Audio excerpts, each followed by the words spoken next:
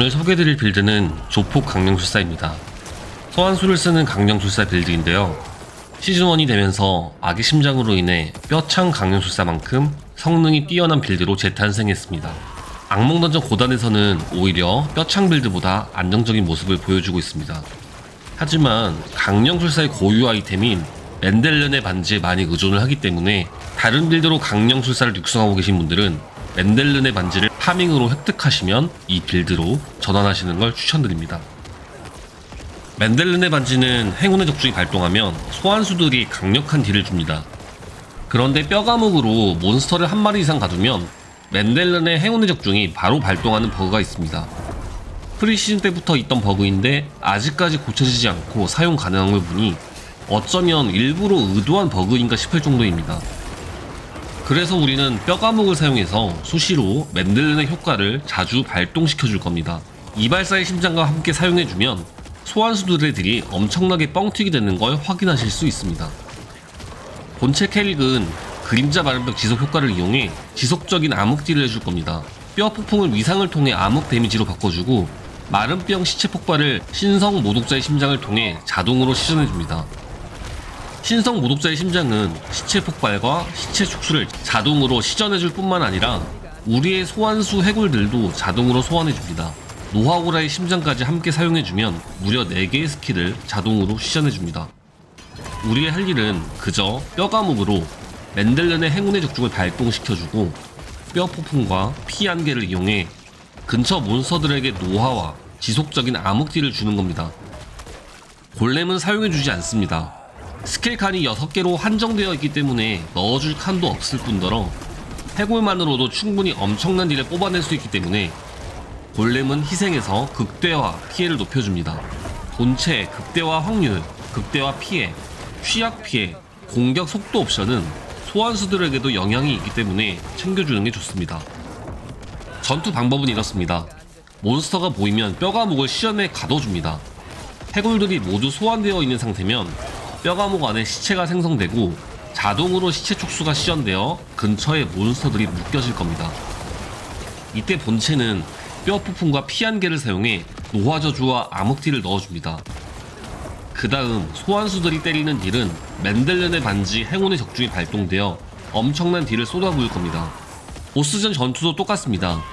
보스를 뼈 감옥 안에만 가둬주면 맨델른과 이발사의 심장 효과로 인해 순식간에 녹이는 걸 확인하실 수 있습니다.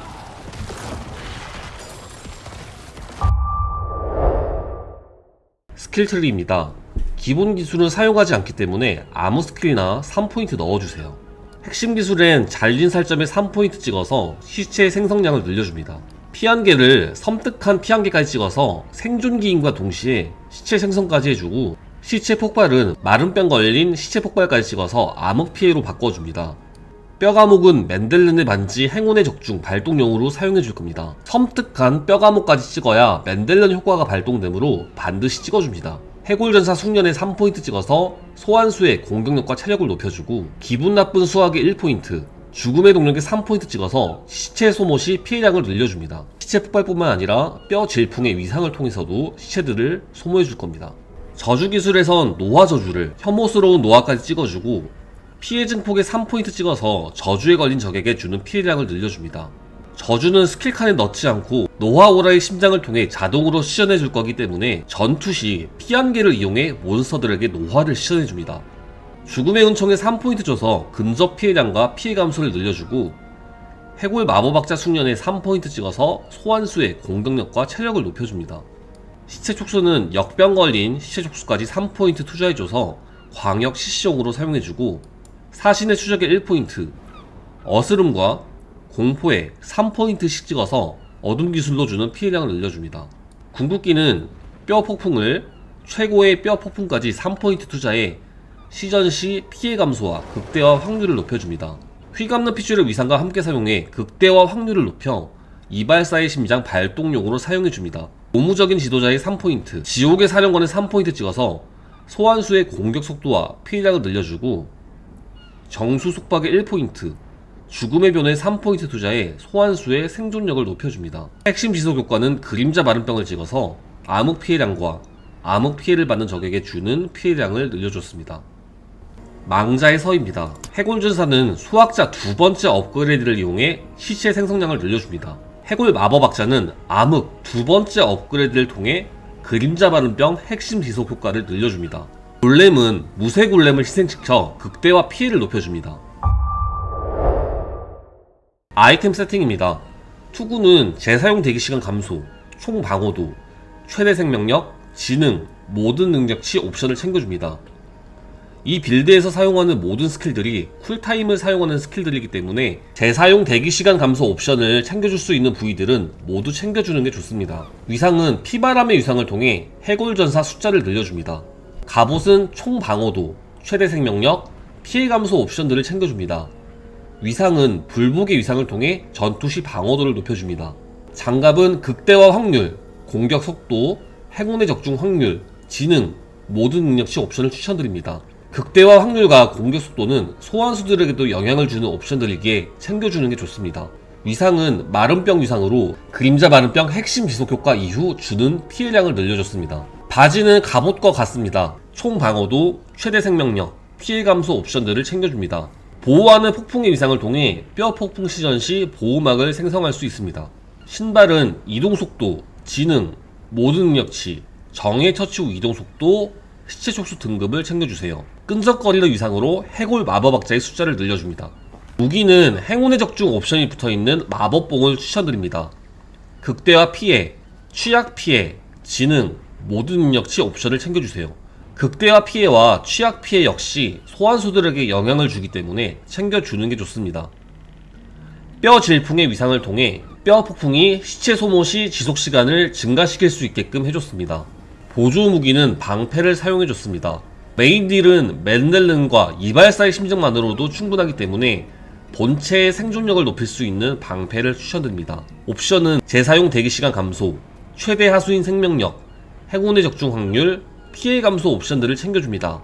위상은 폭발하는 안개 위상을 통해 피안개가 시체 폭발을 일으키면 쿨타임을 줄여줄 수 있게끔 해줬습니다. 목걸이는 재사용 대기시간 감소, 이동속도, 공포, 어스름, 지옥의 사령관 지속효과 등급을 추천드립니다. 위상은 휘감는 핏줄의 위상을 통해 시체 촉수 시전 시 극대화 확률과 피해량을 늘려줬습니다.